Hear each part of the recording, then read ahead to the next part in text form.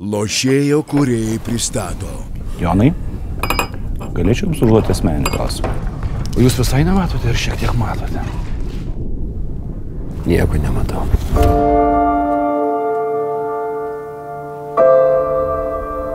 Ką praleidau? Matyti tą patį, ką ir aš.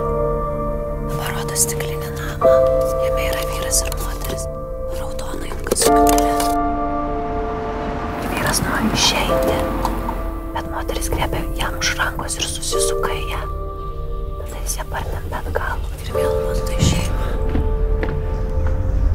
Gaila, kad nematai. Ten apačioj plakatas kabo. Parašyta tiesa jūs išlaisvins. Kas čia pasakė? Gerai zulinė. Kas pasakė? Jonas? Evangelistas. laistis. Nu, ko tu esi išlaistis?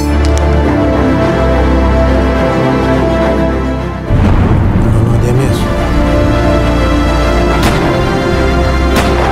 Klausyk, tai dieviškasis tėvelis. Tiesa yra tokia, nuo šiol man mokėsi tūkstantį eurų kas mėnesį. Jaunas jamažas lipai, ant nedurnai. Mano dėdė gamina iškamšus. Jis sako, kad žvėris jaučia pavojų, visada bėga. Išskyrus du atvejus. Kai turi vaikų. Arba kovoja dėl patelės. Kur jos akys?